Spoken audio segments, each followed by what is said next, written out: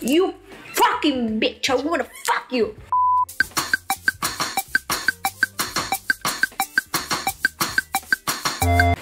Hola, ¿cómo están? Mira, no también como estas cortinas que traigo hoy en día.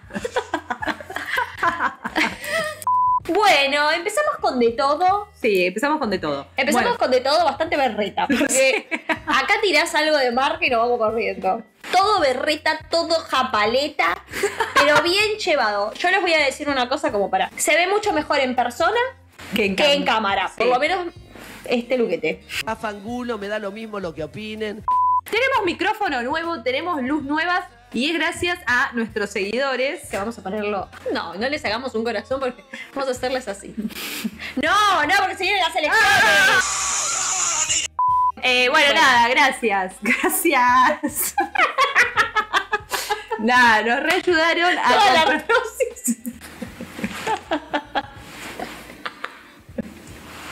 Bueno, nada. Gracias a todos los seguidores. Acá pone la placa. Sí, una Esa. plaquita. Los amo. Esto es mucho para mí. Pero nos ayudaron un montón a eh, mejorar nuestro seteo. Tenemos una mejor calidad de audio, lo- no sé, lo comprobaremos. Hacer el próximo video. Capaz se escucha peor. Vos sabés que sí. Eh, cuestiones importantes. ¿Cómo te fue la semana? ¿Cómo estuviste? ¿Cómo estuvieron tus ánimos esta semana? Estuve muy de arriba para abajo, de abajo para arriba, de adelante para atrás. Como todas las semanas. No. Esta semana sí. Ah, la semana pasada dijiste lo mismo, por eso. Pero bueno, este mes. Pero bien, contenta con. Conmigo. Yo qué, qué querés te diga. Mira, contá vos. ¿Cómo te fue? Contame vos. Muy bien. ¿Cómo me fue? Me fue bien. Chongo nuevo. Chongo nuevo. Chongo nuevo y le hice un planteo al chongo. Cosas que vos no me, re- me recomendaste mucho que no haga. Vos me dijiste muchas veces, no se le hace planteos al chongo. Los chongos son para Disfrutar. Esta semana tuve una tuve mucha regresión con el pasado, además de todo. Y tuve muchos flashes de nosotras cuando éramos chicas. Ay, ¿en serio? Nuestra- Te está chupando un huevo. y la mitad del otro. Porque estamos a punto de cumplir un año de, de este canal que ha empezado de muchas maneras.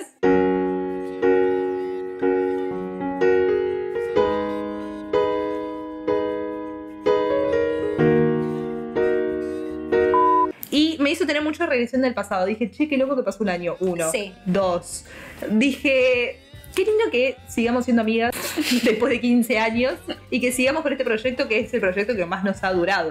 Siempre tuvimos esas mierdas en la cabeza, nosotras. Siempre desde chiquititas. Es como que yo nos imagino conociéndonos desde preescolar. Sí, pero no nos conocemos de preescolar, pero sí. de, nos conocimos de preescolar, me imagino a las dos chiquititas siempre haciendo pelotudeces, siempre queriendo hacer alguna. Oh. Acá estábamos en esta misma cocina Sí. haciendo jabones. Nosotros lo queríamos, queríamos tener, queríamos ser eh, una empresa. Sótano nunca. Siempre terraza, terraza, terraza. Porque nunca, nunca pensamos en tan chico. Claro, nunca, nunca nosotros no lo pensamos. Mm, Al pan, pan, al vino, vino. No, no, nunca pensamos.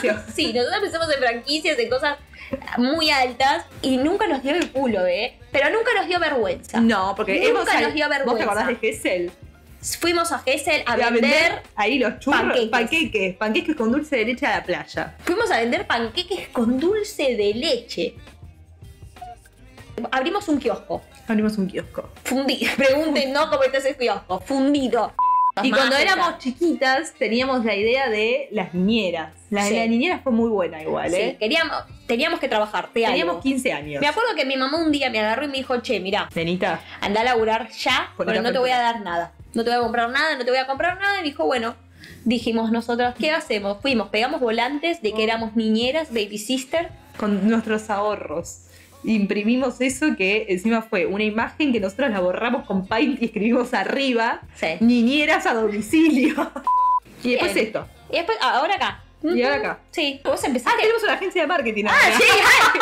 Claro, y la agencia de marketing. Pero me acuerdo que con esto vos empezaste solita. Sí. Pobre, mi amor. Una cosita, los videitos, allá ahí. Y yo te lo mandé a vos. Formándose- Y vos me dijiste, vas a subir eso. Eso, sí. ¿Por qué lo dice tan brusco? Y un día viniste y me dijiste de participar. Yo no quería mucho, pero dije, bueno, le hago las dos, vamos. Y salió bien, nos cagamos mucho de risa. Sí, Por fuimos eso, a ese... pero- bueno, por eso estamos acá. Sí, seguimos acá. Amiga, Se me despegó. Pero ahora como que me falta un dedo. No, bueno. Si es así, si hay una que no te pega, reponete una curita. Bueno, ¿qué cosas te acordás de tu infancia que decís, pucha, qué vergüenza? No, bueno, todo. Yo era una purreta que quería llamar mucho la atención. Yo quería que me vean, ¿no? Sí. Yo siempre era la nena que no le daban atención, la típica que estaba atrás de todo y que siempre era amiga de los marginales, ¿viste? Yo, hoy en día, sí. Entonces, pero en ese momento yo, cuando estaba en mi etapa de niña, primer grado, segundo grado, Sí. yo quería estar como en un escalón un poco más arriba, ¿no? Ah, ok, ¿viste? ok, ok. Vos querías ser de las popu. Yo quería ser popular, yo quería ser eh, Antonella, no quería ser Patito Feo. Yo tenía algo que yo siempre decía, la operación y el- o el plan C, el plan celos. ¿Qué Le pusiste, le pusiste Yo un sola. nombre Yo a mi plan. a tu plan, que era Sí. el plan C. El plan C. Plan celos. ¿Entendés? Yo le decía a mi hermana, hagamos el plan C. Escuchate esta. Un día, 3 de la tarde, en la plaza, yo subía a una hamaca. Le digo a mi hermana, digo, vamos a hacer el plan C porque estaban las nenas. Mi hermana estaba columpiándose como un celu así, porque mi hermana es como el personaje de Merlina. Sí. Es- esa es mi hermana. Y yo estaba, tipo, vamos a hacer. Entonces yo quería que crean que trabajaba en un circo. Pero me parecía cool el hecho de que pensara que yo estaba en un circo. ¿Por qué? Porque yo me levantaba en la hamaca. Ella era yo con. ¿qué? ¿Cuántos años tenés en Seis primer años. grado? Seis años más o menos, bastante boluda.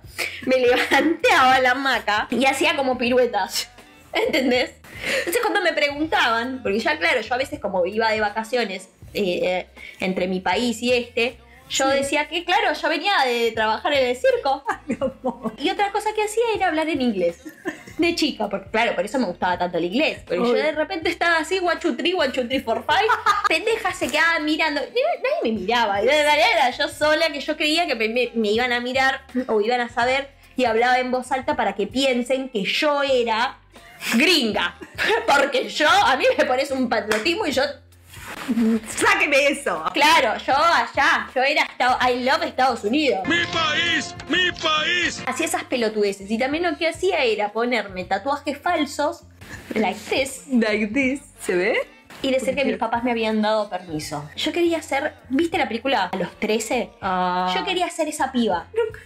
Ahora entendemos que estaba todo Ahora mal sí, eso. sí, yo quería ser esa piba. Sí. La de los 13, ¿entendés? Con una vida súper complicada. Y haberlo sabido a los 10, hubiera disfrutado un poquito y hubiera esperado porque la vida después me iba a ser la mina de los 13, porque fui la mina de los 13 a los 15, 16.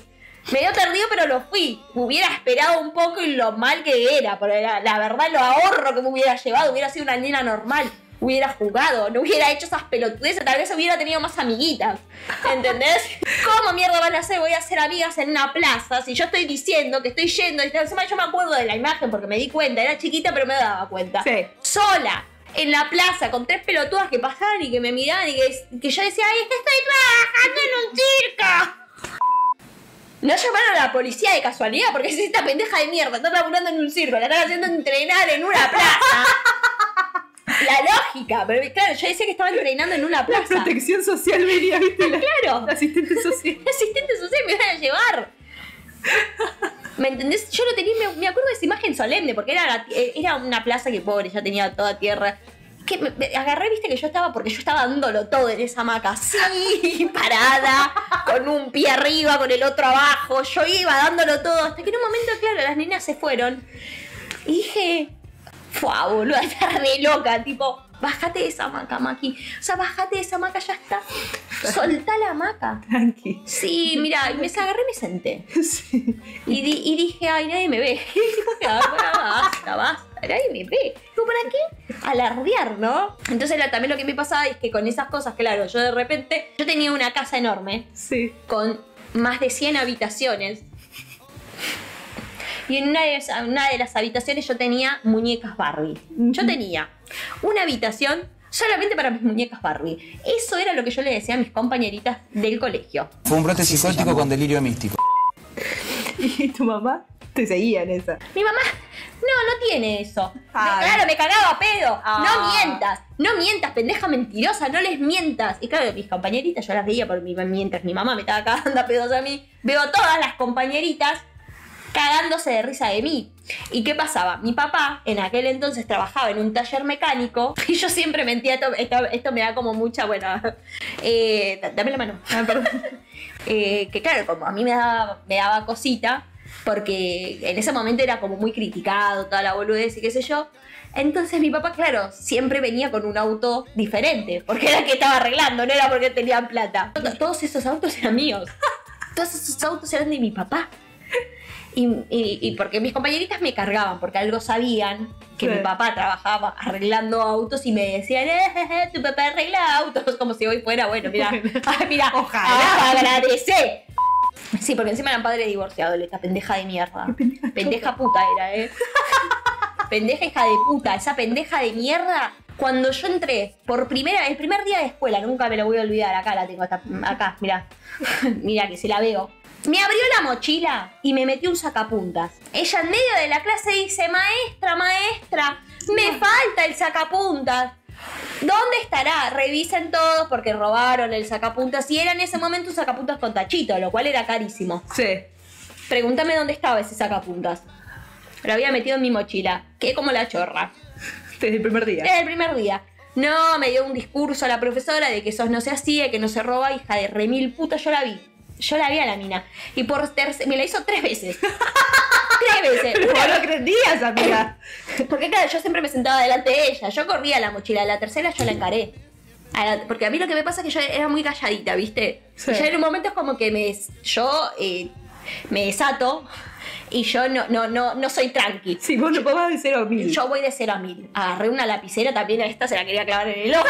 Hija puta, me siempre me culpaban a mí. Y Yo era la Ah. chorra, porque encima era la nueva. Y encima era extranjera. Mm. ¿Entendés? Entonces yo le tenía que mentir para quedar bien.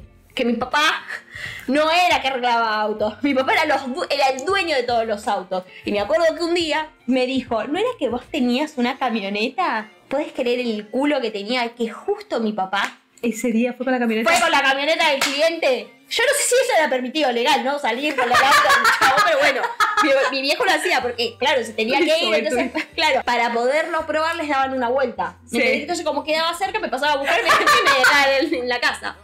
Justo salió con una Cherokee de la concha de la lora, una camioneta. Ay. Y yo le dije, ¿cómo se llamaba la piba? No sé si se llamaba Milagros, una cosa así. Mira, mira, mira, justo. Y me acuerdo que le dije, papá, no que esa camioneta es nuestra y me quedé mirándolo como tipo, mira, Dale, viejo, viejo, mira, papá. Mira, papá. Nunca tuvimos esto, nunca tuvimos una conexión, pero bancame en esta porque te juro por Dios que no. Mira, Me voy. me voy de la casa. Muy bien. Y la nena le preguntó, ¿es verdad que tienen una habitación llena de Barbie? También pendeja pelotuda. ¿Cómo te vas a creer eso? ¿Vos te pensás que tengo una habitación llena de Barbies? Dormimos con mis tres hermanos en una sola habitación, En una cama. en una cama. Vamos a dormir en una habitación para las Barbies. Mi papá se cagó de risa y no mucho como que no quiso decir, pero mi vieja más mala. Y le decía, no, pero que ella quería que yo aprenda que no Claro. tenía que mentir. Ella quería inculcar valores. Bueno, pregúntame cómo salí. Sí. Porque yo agarré, me fui a la casa de mi compañerita que tenía Barbies Sí. y agarré y me las empecé a robar. Decía, pues, tipo, mamá, yo tengo, vos tenés que luchar por lo que querés. Bueno, voy a luchar por lo que quiero a, a como puedo. Si yo no tengo la parte de tener una plata para pagarme una Barbie, voy a la casa de mi compañerita que tenía una habitación de Barbies, literal, y se las voy a empezar a robar. Porque se lo merece. En ese La momento se, se, se, se cambiaban las figuritas de H. Bahía. Acá llegó H. Bahía. Sí, pero no, no, No la tanto, pegó tanto. No la pegó tanto. Bueno, en Chile era un boom. Bueno, yo amaba Che Bahía. Sí. Pregúntame si tenía algo de Che Bahía. No podía tenerlo. Sí, acá no se tenía tan. O sea, se bailaba, pero no es que se tenía cosas de H. Bahía. Bueno, ya había un álbum con figuritas. ¿De H. Bahía? Álbum, era álbum. Y fue el único álbum que yo tuve. Mira. No me compraban las figuritas. Entonces, ¿qué hacía yo? Las robadas. De a poquito. Yo siempre, yo siempre, yo siempre igual, yo siempre igual atenta. ¿Me entendés? Nunca me atraparon. Muy bien. Pero- a mí a veces de, de repente me cebaba, porque claro, un día llegué, me, me acuerdo que lo vio la, la que me cuidaba, que me dijo, Francesca, ¿de dónde sacaste todas esas figuritas? Porque tu mamá no te compra figuritas y yo con un paquete así. Yo traficando, porque encima las cambiaba, ¿viste? Las cambiaba y las vendía. A las mismas que ahí las cambiaba y las vendía. Yo cambiaba y vendía, cambiaba y vendía también con algún peso, algún cosito, ¿viste? Entonces me iba ahorrando para comprarme el CD, para comprarme los pósters. Porque en ese momento vos, si tenías eso, no sé, me imagino que eras wow. Claro. Eras cool. Y yo quería ser cool. Yo en ese momento flasheaba mucho. Las dos éramos bastante en esa, estábamos Sí, en esa. sí, sí, sí, pero yo sabes que flasheaba mucho. A mí me tocó la época de Casi Ángeles acá. Casi Ángeles, un poquito antes estaba Belinda. Y yo flasheaba mucho. Hablamos de Belinda Trencita. Belinda Trencita, claro, la de Como amigo te sigo fiel, ahora te lleva la piel. Esa. Eh, ¿Qué pasa? A mí me pasó que tuve la seguidilla de Belinda, Patito Feo, Casi Ángeles. Eh, bueno, en el medio, R- no, antes, R. Way. Bueno, no importa, yo venía con Ah, una rebelde, onda. Yo venía como con una onda de que quiero ser cantante. ¿Vos pensás que yo tengo vocación de, vaca- de cantante? Pues no. Sí. Pero yo quería ser cantante, pero a toda costa era. ¿Qué pasa? En ese momento vos no tenías para grabarte. Lo que se usaba para grabar en ese momento eran las caseteras que vos rec con los cassettes. Cuando sale el 1100, no tenía la opción de grabar, pero sí, cuando vos llamabas al asterisco 555, vos podías grabar un mensaje de voz que después lo podías escuchar. Y yo lo utilizaba como una grabadora. Entonces yo iba en el colectivo, en modo esquizo, cantando las canciones de Belinda y otras, grabándome en el eh, asterisco 555 Claro. de eh, la grabadora de voz. Que era lo que te ¿Cómo no íbamos a ser amigas? Si vos eras como la niñita loca, en el colectivo, solita, cantando. Sí, yo todos los días en ese momento viajaba una hora y media hasta Capital y una hora y media de vuelta. Entonces, y no había un porongo para hacer. Lo Claro. único que podías hacer era eso y jugar a la viborita. Sí. Entonces yo me ponía así contra el vidrio y cantaba. Y después me lo escuchaba, a mí me encantaba escucharlo porque yo, yo sentía que llegaba a las notas, porque la canción era Luz sin gravedad de Belinda, pero era ese falsete que hace con la Sí, voz, sí, sí. que yo me volvía loca con eso y yo sentía que lo podía hacer. Sí. Cuestión que mi mamá, eh, ese celular mío pasa después a mi mamá, que es el celular que sigue teniendo hoy en día el mismo número.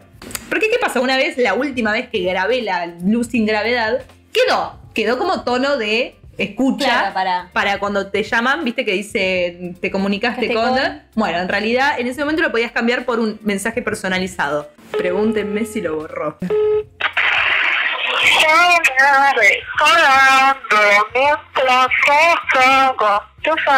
fantaseando, no sé cómo te estar. Bueno, era la mejor parte. Cada de soñar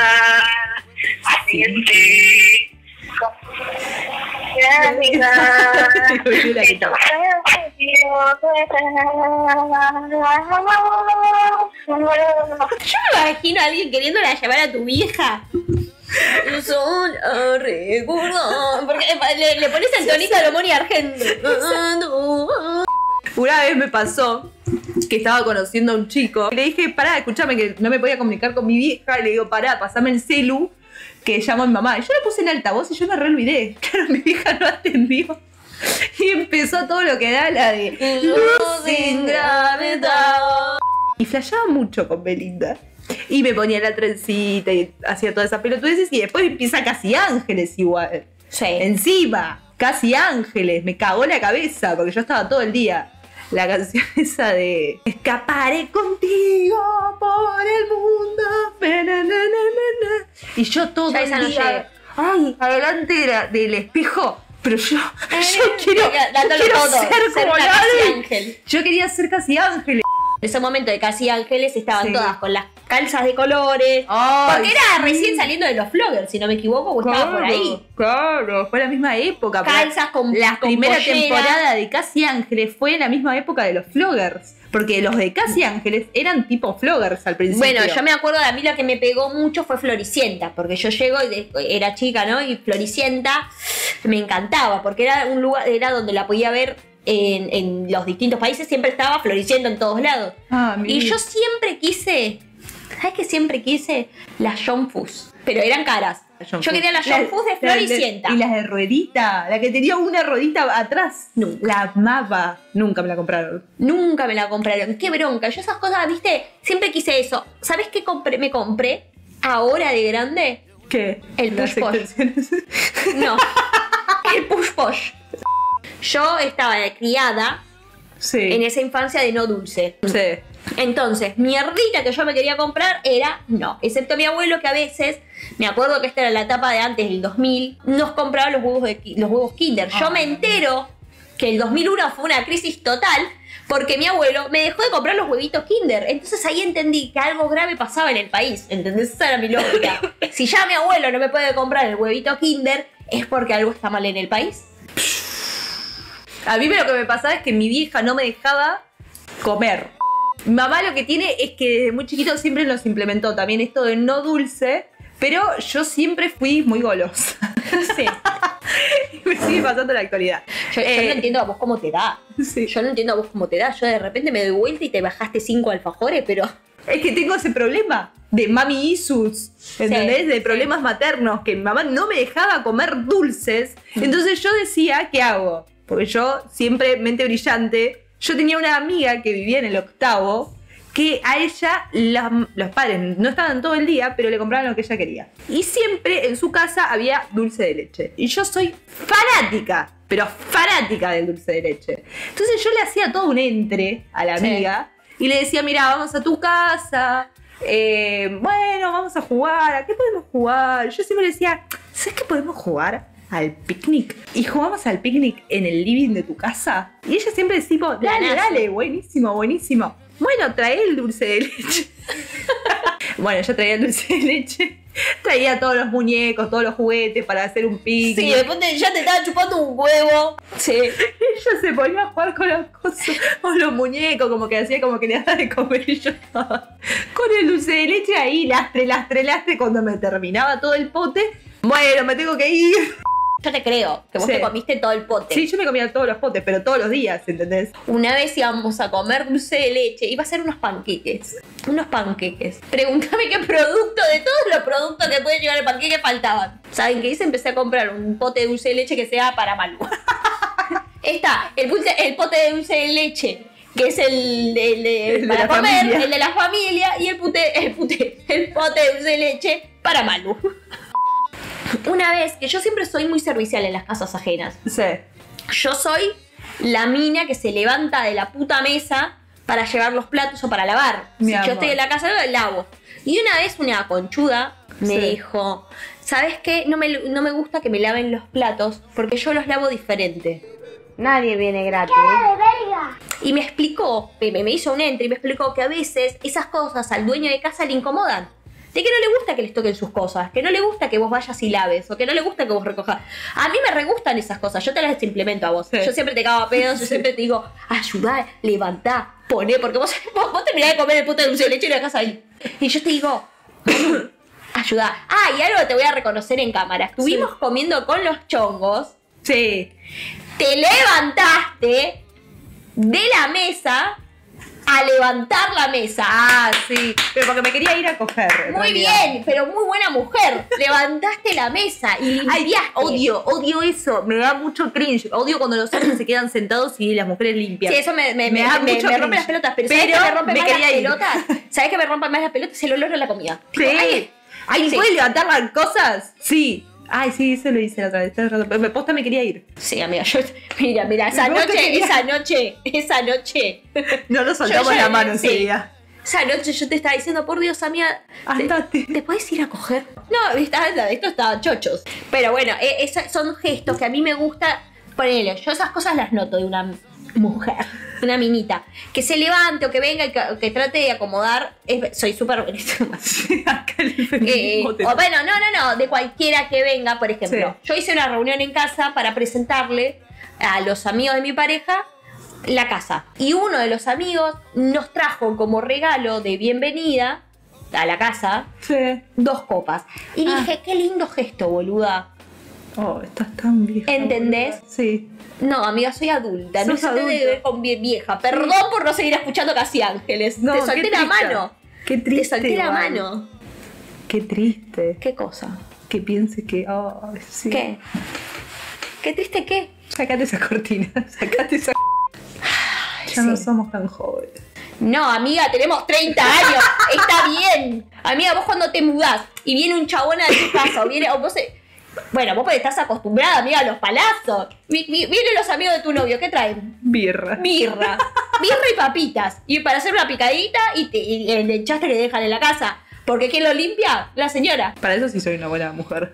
Sí, vos, vos, vos, vos también sos mamanza. Vos te haces la, vos te haces la, la recatada, pero vos estás acá.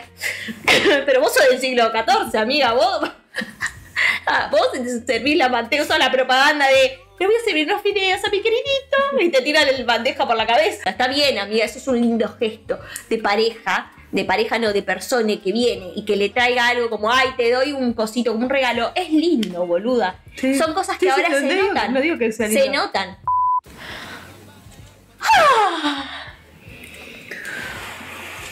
Ay, amiga, ¿cómo pasamos de escuchar Belinda a que nos traigan un vino con dos copitas? Y yo siempre me quedé con ese obsequio. Dije, wow,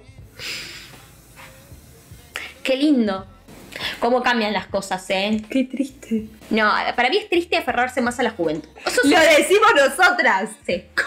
Y con, con apoyo. Mí- no, no, no, pero eso no tiene nada que ver con. Eso, eso tiene que ver con ser berreta, eso no tiene nada que ver con la juventud. Eso tiene que ser con ser- tratar de ser grande. Coqueta. Coqueta. Ahí está, coqueta. Qué coqueta. Pues uno tiene que tener un equilibrio entre la juventud Sí. y entre eh, lo adulto. Tiene que ser jovial.